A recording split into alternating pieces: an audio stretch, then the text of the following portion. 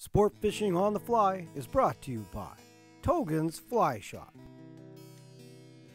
Maui Jim Sunglasses, and Hardy Rods and Reels. Good day everyone, this is Brent again here with another uh, jig fly, sport fishing on the fly. We're getting an order ready to get out the door here. These are uh, a nice color that I just wanted to share with you while I have all my materials out. A rusty brown. It's a very uh, nice color. We can uh, use that for uh, imitating quite a few uh, food sources down there. So let's go over the materials we need to tie the fly. We're going to use a Togens barbless hook size 14. The, in front of that I'm just going to put the uh, brass nickel 1 8 tungsten slotted bead on there from Togens as well. Uh, the thread, I'm going to be using some 6-aught red. It's a flat thread. The flash, I'm going to use just a little pinch of this. I'm getting pretty short here. We got enough for quite a few flies. This is red angel hair. You want a very fine flash on these flies. This is a BMW from Brian Chan, Brian's Marabou Wiggler.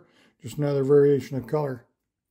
I'm going to rib that with a brassy red wire and uh, gives us a nice pronounced rib color. And then for the uh, body and the tail, we're going to be using some this rusty brown marabou plume here. And you want the nice soft blood quill. Very important to use the right quills and select them for that, okay? So let's get a hook in the vise. Tie one of these up. These are really easy to tie. Um, the fish love to eat them.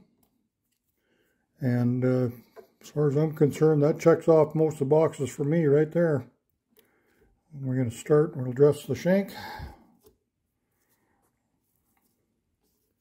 We'll uh, bring in just a little pinch of our red angel hair.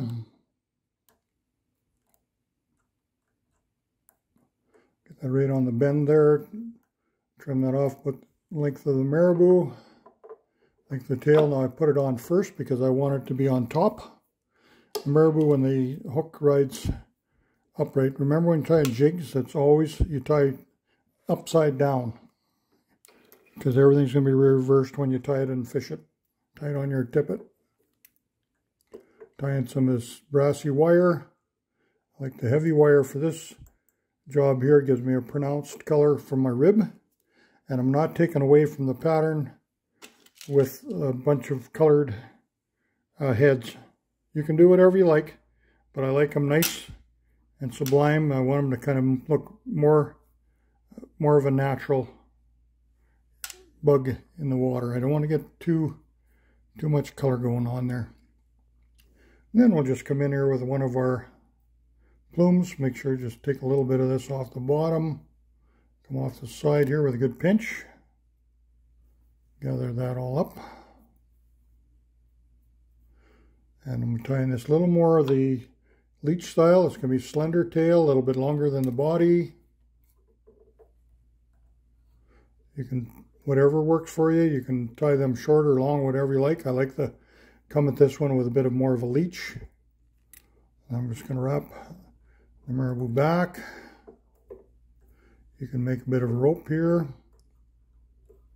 Just wind it forward. You get a nice hurl with the, um, the marabou. Just tie that off. Then we'll bring in our heavy red wire here. Make sure you don't pinch anything down. I'm coming in here with four nice equal turns. We'll tie it off. cut your wire on the inside of these scissors, always, and that way it'll protect these scissors. You don't want to ever cut wire or anything coarse on the end of your scissors, you'll ruin them. I'm using some good sharp anvils. Those are nice serrated edge scissor, and I'm going to whip finish that off, get a good whip finish in there, and that should hold. I'd like to thank Brian Chan for another good pattern. This pattern's been seen a lot on the internet. It's a good one. Um, we'll just get in there and have a look at it again. Remember, it's going to ride upside down. I'll give you a little more of a view here. And the, and the flash is right on top of the marabou. And uh, you can strip that. I, I would just strip that in with a clear intermediate line, basically, and fish it that way. Um, you can hang it under a cork if you like. That'll be fine too.